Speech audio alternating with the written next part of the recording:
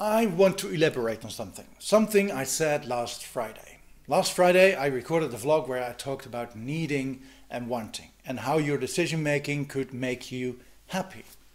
Now, I got a lot of questions about something I said in the video. I said that discipline meant you're punishing yourself and you shouldn't want that to do. Uh, that is something I totally agree upon. I mean, discipline is coming from the situation where you had to take disciplinary measures, or in plain English, where you had to punish someone for their behavior. So, stating that we need discipline in our lives in order to achieve things is totally the opposite of what I believe is far more effective. We need motivation. And when we when when are we motivated? I mean, what happens then?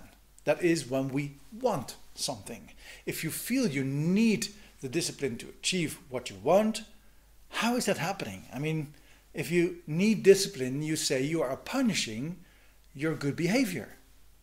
For example, you want to start your own business for whatever reason.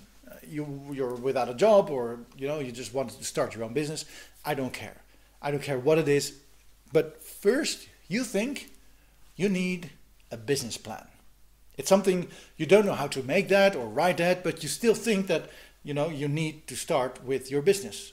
Make a business plan. So you feel the need to have the discipline to get up at 9 a.m., grab a cup of coffee, open up your laptop, and you start writing your business plan. But day after day, you realize that you can't because you don't have the discipline, right? Because you don't feel like it. Sounds plausible? Well, I'm not surprised that it doesn't work like that.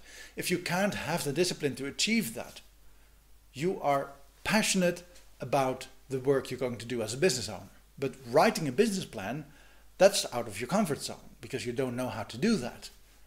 So there you are, with your second cup of coffee that day, staring at a blank screen.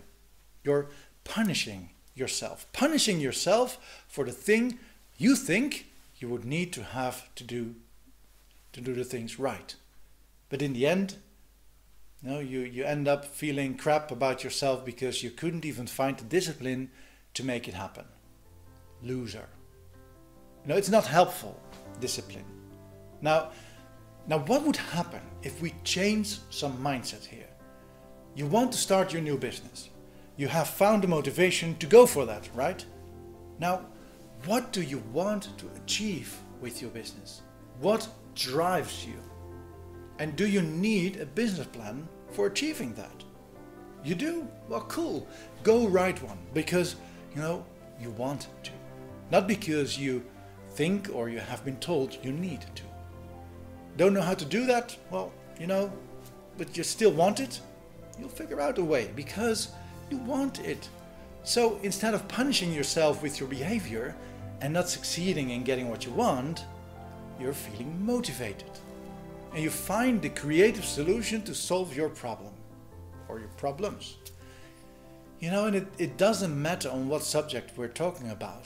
Here on seductiondebunked.com, we teach men how to seduce a woman. So, if you think you need the discipline to learn whatever it is, you're wrong. You need the motivation to learn. If you're not motivated to learn how to seduce a woman, you won't learn. So ask yourself this question What do I want? And what do I need to do to achieve that? And do I realize that when I do this, I will achieve what I want because you had the right motivation? The discipline to keep doing it isn't discipline anymore, it's motivation because it's something you find valuable to do. And so you do. It's the same as with these videos and these blogs. Do I need discipline?